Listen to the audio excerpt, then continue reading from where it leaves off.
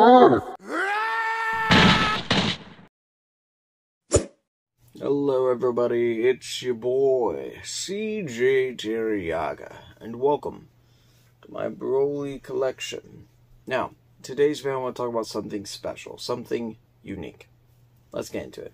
So, in today's video, I want to talk about Lego Bionicle, which is actually one of my childhood uh, figures, and which theoretically I should put on a nostalgia couch, but because this is such a huge part of my childhood, I figured I'm going to make this just its own little series. Kind of like along with the Broly's, I'm going to do a Bionicle series. So, Lego Bionicle. What is a Lego Bionicle? Let me show you. This is a Lego Bionicle Tahu Nuva, or Nuva Tahu. And this is a, a series two, or it's basically like wave three or four, um, where they introduce some villains after they introduce wave one, which are these guys, and after a few villains like the Rahkshi, they then introduce these guys. And uh, no, not Rahkshi, Bohrok. Sorry about sorry about that. I'm I'm thinking of the movie, and I remember they said Bohrok, not Rahkshi. So. These are Toa. This is a Toa Nuva. And then we got Rahkshi and Bohrok. Let me show you those. Alright, so this is a Toa, aka Lego Bionicle's main heroes. Then we also have the Lego Bionicle Bohrok, which are basically the Lego Bionicle villains. And then in the later series, which these guys come into play, the Rahkshi, are the new villains, along with a, uh, a, a main bad known as Makuta. I don't have Makuta, so that's why he's not up here. But these are the ones that are kind of like in this era. So these guys fought these, which are the regular Toa. These guys fought these, and these are the Toa Nuva. What is the difference? These guys are basically just bigger, beefier, more veteran-like versions of these guys. These guys I've seen stuff that they're basically the same characters. Um, there's a Tahu uh, in this line, but he's not as big and bulky as this one. So I'm imagining this is an evolved version of these guys. Anywho, I'm getting a little off track.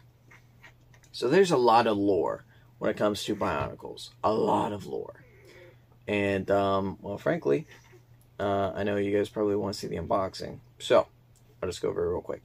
These are con construction figures where you can just move things and they do actions. Basically, it's kind of like the Lego's version or the Le Lego take on an action figure, so to speak. Each of these figures have their own little action where they do things. Um, and yeah, so I mean, even the Bohrok here, they have a little feature where they jut their head out. And when we un when we open up this guy, I'll go ahead and show you his action. But so let's go ahead and get into the unboxing.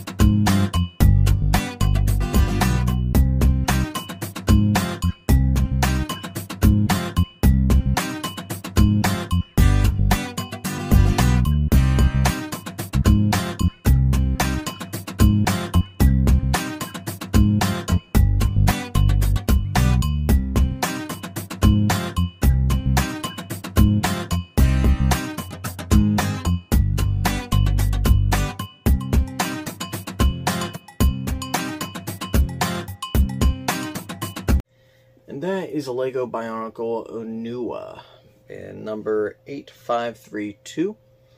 And uh, yeah, it's a pleasant little unboxing. And here is his action. Now, I believe he's supposed to come with gears on the back here.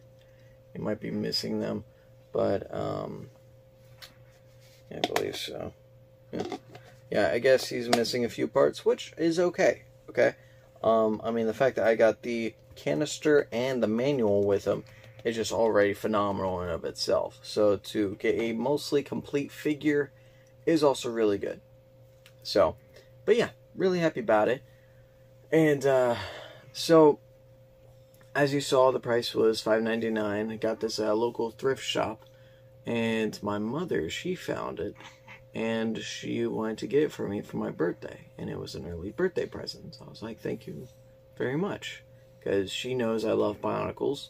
They're one of my childhood memories. Like this is a great deal of my childhood, and so it was pretty cool to kind of see it again. You know, it, just it blew my mind when she came over and showed it to me. And uh, yeah, honestly, these figures are really cool. That, that's kind of the reason why this guy turned into a Lego, the the Lego skull. You know, usually I have just a regular skull here, but because we're dealing with Lego Bionicle, I brought him out. And so, um, yeah, from now on, if, if you see this guy, you'll know. But yeah, so I just want to say thank you very much, Mom, for getting this for me, especially for my birthday, which is coming around the corner. And um, I hope you guys take care. I'll see you guys in the next one, alright? Bye bye.